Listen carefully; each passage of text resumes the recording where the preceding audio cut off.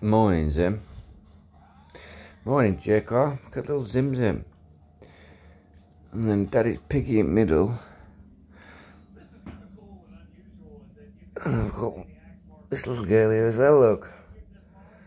Binty sends a love, dude. So we've got Bints there. Piggy in the middle, Dad. Zim Blob. That's um, you're comfy, Comfy, eh? She is.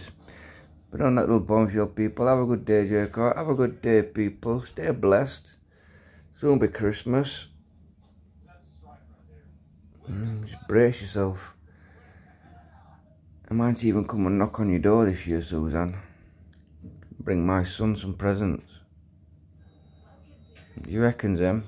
Me and Uncle Malcolm up. So I've got a witness. Hmm. Might just ruin your Christmas, Suzanne, like you've ruined my Christmas. What do you reckon, Zim? Shall we ruin Suzanne's Christmas? Hmm? Shall we turn up to see my son? Me and Uncle Malcolm. Anybody wants to know her address? PM me. Number 65. Hmm. Let's all send her a Christmas card, eh? Let's all send Suzanne a Christmas card, people. Tell her what she really is. Hmm? Tell her. I think we should, Sim. Let's everybody send her a Christmas card and give her a piece of the, of the mind. If anybody's got the balls to do it. On that little bombshell. And enjoy my day. Love you, Jacob. And hopefully I might see you soon, lad. It just depends what happens.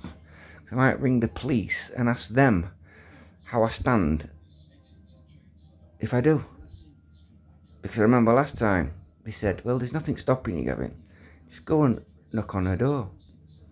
So we'll check. I'll even ring the police, record the conversation, and put it on here.